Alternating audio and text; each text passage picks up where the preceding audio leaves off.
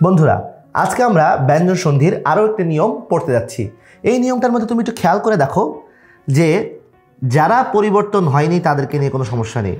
যারা এখানে পরিবর্তন হচ্ছে না তাদেরকে নিয়ে কোনো সমস্যা নেই। সমস্যাটা হচ্ছে যারা পরিবর্তন হচ্ছে। আরে এই যে যারা পরিবর্তন হচ্ছে, তারা কিসের ভিত্তিতে পরিবর্তন হচ্ছে? দেখো, দ এখানে হয়ে গেছে ত। এটা কেন হলো? তার কারণটা হচ্ছে, দেখো, দুই ত বর্গ তুমি একটু খেয়াল করো। ত, থ দ, ধ, আর হচ্ছে দন্তন। এটা হচ্ছে প্রথম, দ্বিতীয়, তৃতীয়, চতুর্থ, পঞ্চম বর্গীয়। এক, দুই, তিন, চার, পাঁচ। প্রথম, দ্বিতীয়, তৃতীয়, চতুর্থ, পঞ্চম। এই যে তৃতীয় বর্গীয়, নিয়ম হচ্ছে তৃতীয় বর্গীয় সবসময় প্রথম বর্গের কাছে যাবে। তৃতীয় বর্গীয় সবসময় প্রথম বর্গের মতো হবে। তাই দ এখানে ত হয়ে গেছে। এখানে যেরকম দ, ত, আর এখানেও দ, ত হয়ে গিয়েছে। যদি আমরা উদাহরণ দিয়ে দেখি, তাহলে বোধহয় তোমাদের বুঝতে আরও বেশি সহজ হবে। তো চলো, আমরা দুটো উদাহরণ দিয়ে তোমাদেরকে বুঝিয়ে দিই। যদি আমরা এই নিয়ম অনুযায়ী যাই, তাহলে পরে আমরা একটা উদাহরণ দেখতেই পারি, সেটা হচ্ছে উদ্বন্ধন।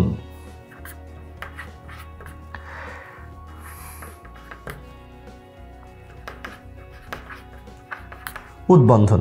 আচ্ছা একটু ভালো করে বুঝতে হবে। আমি এখান থেকে কি উঠাবো? আমি এখান থেকে মূলত এই যে দ মানে দ, দটাকে উঠাই দিব। তা আমি এই দটাকে শুধু উঠিয়ে দিলাম। দটাকে যদি উঠিয়ে দিলাম এর বদলে কি পাচ্ছি? এটা। অথবা এটাকে কি লেখা যায়? এরকম লেখা যায়। আচ্ছা এরকম যদি লেখা যায়, তাহলে পরে আমার এর বদলে আমি এটা কি করতে পারি? যেহেতু এটা উঠিয়ে দিলাম, তার বদলে আমি একটা যোগ দিতেই পারি। দেওয়ার পর দেখো, এখানে বাদবাকি কী আছে? বাদবাকি এদিকে যা আছে তা আমি লিখে দিই। এখানে আছে বন্ধন। আর এপাশে কি আছে? উ।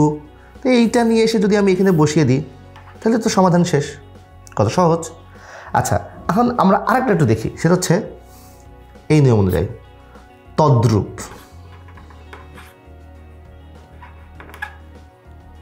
আমরা তদ্রূপের মধ্যে দেখতে পাচ্ছি মূলত তদ্রূপটা হচ্ছে এই।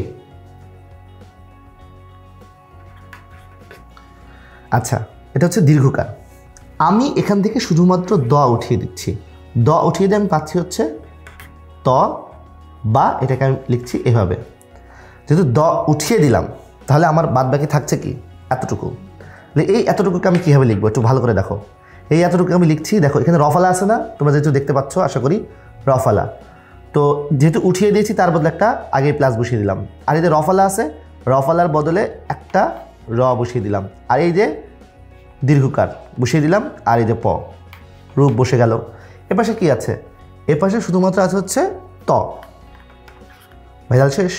এটা নিয়ে আমি এখানে বসিয়ে দিলাম তজ্জ গ্রুপ বন্ধুরা, আশা করি তোমাদের মাথার মধ্যে খুব ভালোভাবে ঢুকছে।